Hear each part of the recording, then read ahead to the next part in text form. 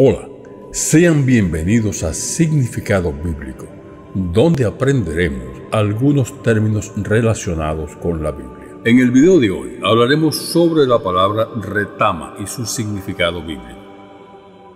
Antes de comenzar con el significado, te invitamos a descargar nuestra aplicación Fieles a Dios, cuyo enlace tienes en la descripción y en el comentario destacado de este video. En ella encontrarás el salmo o el proverbio del día, hermosas oraciones y reflexiones milagrosas, miles de imágenes que podrás compartir con tus familiares y seres queridos. Recibe notificaciones de nuestro contenido espiritual. Descarga gratuita en Play Store y App Store para tu dispositivo móvil. Que Dios te bendiga.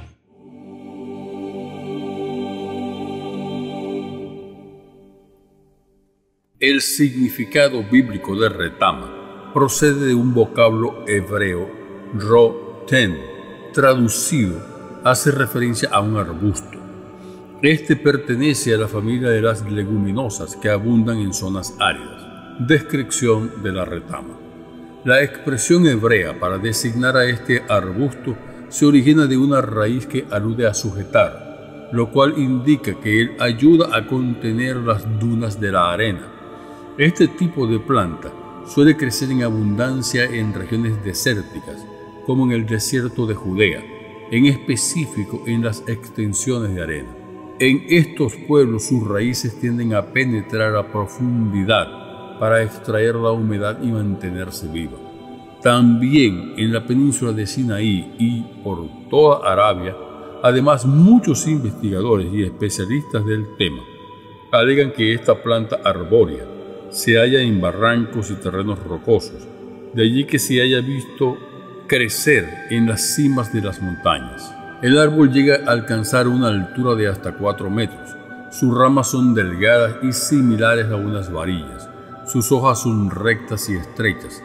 Las flores de la retama son delicadas, formando pequeños racimos de color blanco y rosado. Ellas visten las laderas de las montañas como una alfombra de flores lo cual proporciona un panorama agradable que embellece el paisaje.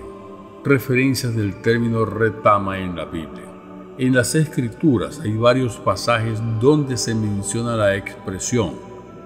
Elías, cuando huía de la malvada reina Jezabel, se adentró al desierto y se acostó debajo de una retama. Es posible que en toda esa área no hubiera donde resguardarse y al hallar ese buscó su sombra. Es muy probable que ese árbol fuera grande debido a que el relato dice que Elías se quedó dormido allí. Por otra parte, en las regiones del desierto se usaba como un comestible, ya que se extraía de la madera un carbón de calidad que genera calor al arder. Este árbol no es comestible y eso se debe a que sus raíces son muy amargas, posee un olor nauseabundo Aún así, hay un versículo en la Biblia donde se señala que algunos la consumían cuando pasaban por el desierto.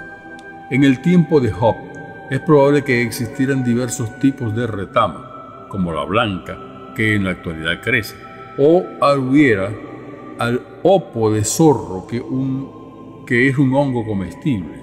También es posible que este siervo del pasado citara la frase con la intención de dar a entender que algo bueno se puede hacer con las hojas de ese arbusto. Si el video te sirvió de ayuda, me gustaría lo dejaras saber en la caja de comentarios. También puedes dejar tu me gusta, suscribirte y compartir este video para que llegue a muchas personas. Si buscas más contenido relacionado con significados bíblicos, lo encontrarás en nuestra página web significado bíblico.com.